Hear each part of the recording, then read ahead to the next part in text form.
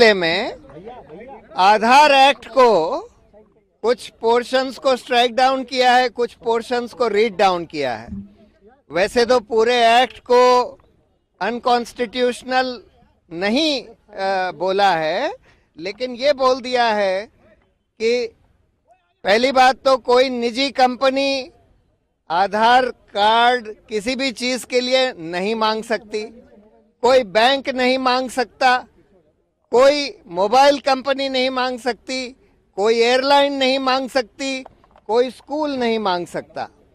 आधार card सिर्फ़ सरकारी schemes जिसमें कि कोई सब्सिडी दी जाती है, उसी में मांगा जा सकता है। और उसमें भी किसी भी व्यक्ति का अगर बायोमेट्रिक आइडेंटिफिकेशन फेल करता है तो सिर्फ़ उस आधार पर उसको उसका जो एंटाइटलमेंट है उस स्कीम में, वो डिनाई नहीं किया जा सकता। थोड़ा सा विवाद इस पर हुआ कि ये कानून, आधार एक्ट जो कि मनी बिल की तरह लाया गया था, कि क्या इसको मनी बिल की तरह लाया जा सकता है कि नहीं, जिसमें मेजॉरिटी ने शायद ये बोला है कि हाँ उसको मनी बिल की तरह लाया जा सकता था, लेकिन ये भी बोला है कि मनी बिल की तरह कोई कानून लाया जा सकता है कि नहीं लाया जा सकता, ये सिर्फ़ स्पीकर नहीं तय कर सकता और स्पीकर का डिसीज़न कोर्ट में चैलेंज किया जा सकता है।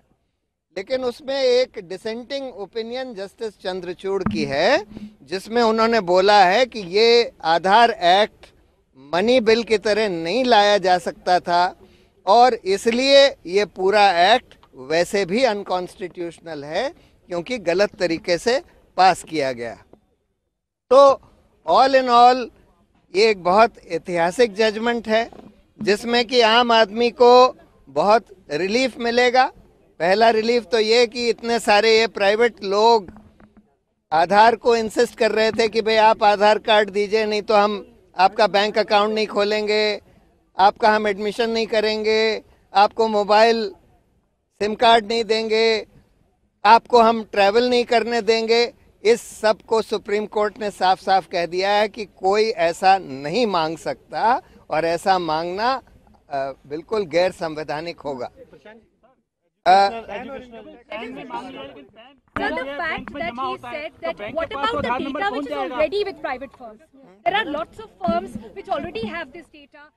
Court said anything about what happens to that? I think uh, at least Justice Chandrachud has said that this data which has been collected has to be destroyed. I am not sure as to what the uh, majority view on this is. So, uh, today the Supreme Court has passed another historic judgment on the Aadhaar Act. Uh, they have held several parts of the Aadhaar Act to be unconstitutional. In particular, they have said that no private company, whether it is a telecom company or a bank or a school or an airlines, can ask for Aadhaar Act as a condition for providing any services. They have also uh, they have also said that uh, if biometric identification of a person fails, then he cannot be denied the benefit of any government scheme merely because his biometric identification has failed if he can establish his identity otherwise. So this is a very major relief that citizens have got. The, there is some dispute between the judges about whether this Aadhaar Act could have been passed as a money bill. It was passed as a money bill. On this, while the majority view seems to be that yes, it could have been passed as a money bill, though they have also held that whether an act can be passed as a money bill or not is a justiciable issue which the court can decide. It can't be left to the speaker alone. But the minority judgment of Justice Chandrachud, he has delivered a very strong judgment saying that passing this act as a money bill was a fraud on the constitution because you have bypassed the Rajya Sabha in the process of passing this act as a money bill. Sir, can He, this have he has also implication on Aadhaar he has content? also said that all the data that has been collected by way of the Aadhaar card needs to be destroyed. However, exactly what the majority has said on this, I am not sure.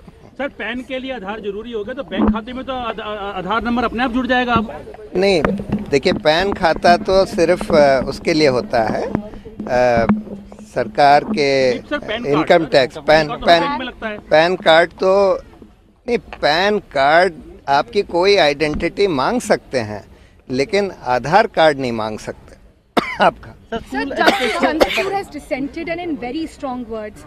The fact that he's not in majority, can it have uh, the statements that he's making, the concerns that he has raised? Will that have a bearing? Will the government now have to consider that as well? Or where does his dissent stand in this own judgment? No, his uh, dissent is a very important dissent, which um, makes a very strong case. Firstly, on the fraud that was perpetrated by passing this uh, act as a money bill and thereby bypassing the Rajya Sabha. Though the majority may not have agreed with him, but it's a very but the and but the majority also said that yes, whether an act is a money bill can be passed as a money bill or not the, uh, just the Lok Sabha Speaker's decision on that is not decisive. That can be challenged in every case in a court of law, and the court will have to decide whether the act has any relationship to the Consolidated Fund of India or not.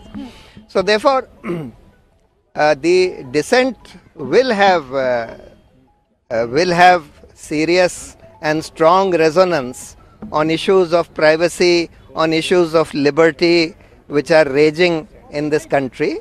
And in any case, even the majority judgment is a very, uh, very important uh, and strong judgment, giving major relief to people who had been complaining about using Aadhaar for anything and everything, collecting all your information about everything through this Aadhaar and thereby violating your privacy.